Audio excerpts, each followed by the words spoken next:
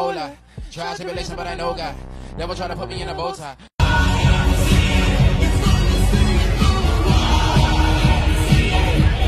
So to make your voice heard on issues like LGBTQ equality, uh, reproductive health care, immigration reform, so on and so forth, I'm so angry. Maybe 30 or 20. Just, oh my God, it just, it just takes a while. Pippin broads plus Pippin pen, multiplying, I gotta win. God bless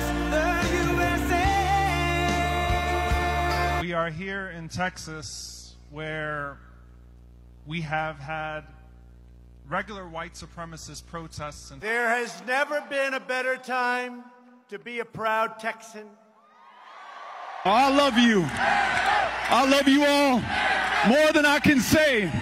Last week, a very dumb Democrat candidate for president, that's the end of him in this state, pledged to revoke the tax exempt status of many churches and religious charities. You ensured that the 38 electoral college votes here in Texas can be won and can put Donald Trump away forever. And by the way, that was after a few weeks ago he said, Excuse me, we're going to take your guns away. That doesn't work well. in Texas.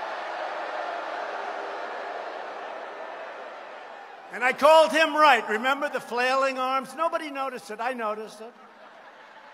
The flailer. You remember he was flailing all over the place. I said, Why is this guy hot? John Cornyn's going to win so easily, just like Ted Cruz won. He's going to win, no matter what happens. But John Cornyn is not talking about Beto anymore because Beto, in a few short weeks, got rid of guns and got rid of religion. Those are not two good things in Texas to get rid of.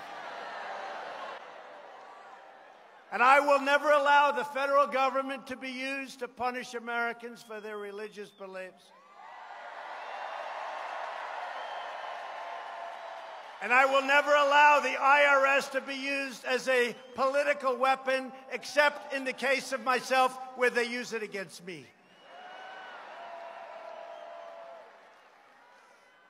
The radical left tolerates no dissent. It permits no opposition. It accepts no compromise. These people are crazy. And it has absolutely no respect for the will of the American people. First, it was the Russia hoax.